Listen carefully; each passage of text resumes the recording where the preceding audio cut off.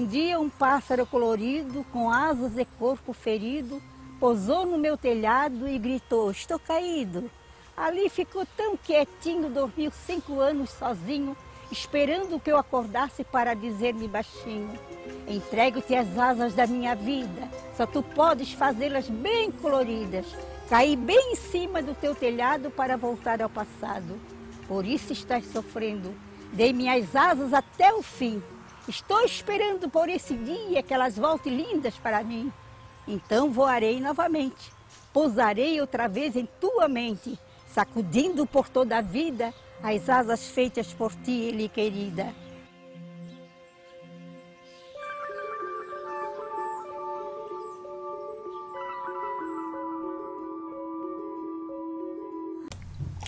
Olá, crianças.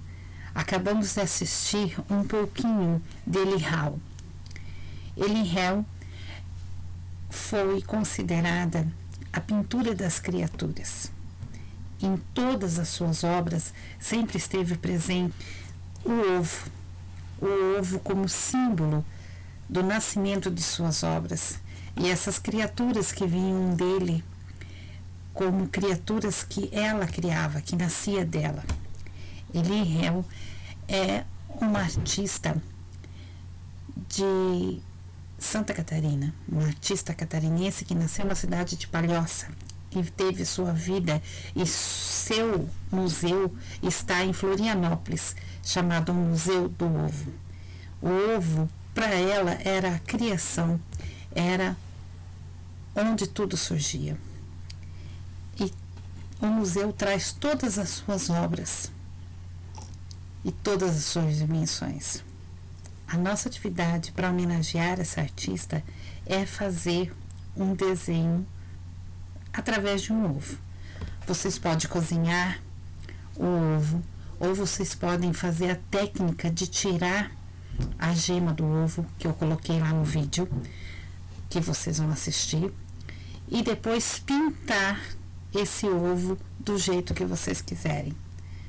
Quem não conseguir fazer com o ovo, faz o desenho, mas seria importante traduzir essa homenagem para tirar uma foto e mandar essa foto. E nós vamos mostrar para todos os alunos como ficou cada ovo. Já que as obras de Lihel aparecem de um ovo, nascem do ovo é o surgimento das obras, das criaturas.